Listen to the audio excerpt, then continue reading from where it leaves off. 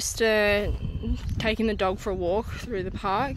It's currently the off-leash hours, so I, I, I can let, so so I can let him run free for a bit, but uh, we'll just make sure he doesn't he doesn't venture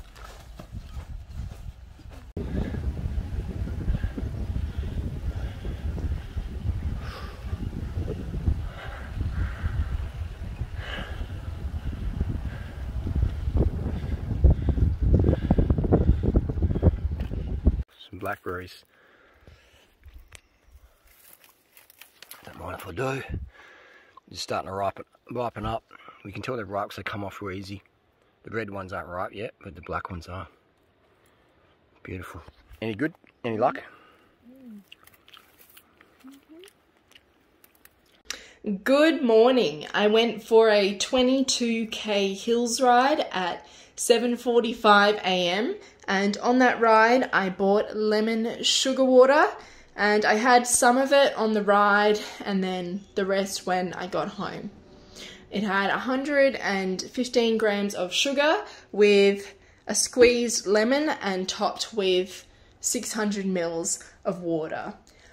So I've just done a bit of tidying and now I'm going to have some of this red crisp looking melon.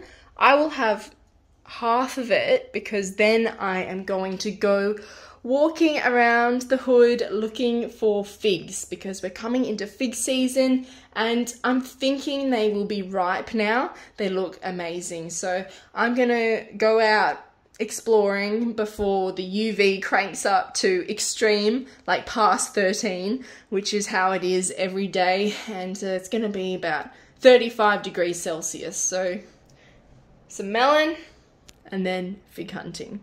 I'll let you know how it goes.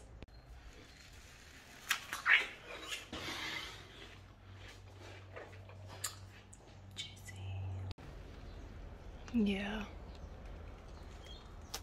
These will probably go through to March.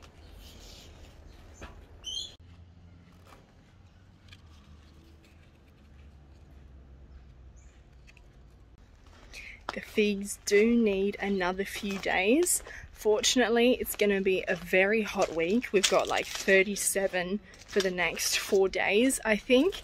So that will soften them up and bring out that full sugar content. I had three and they were still good, but they're going to be cranking next week. Look at the size of this vacant block. Full sun, that would create an amazing orchard. Imagine all of the fruits and veggies you could grow.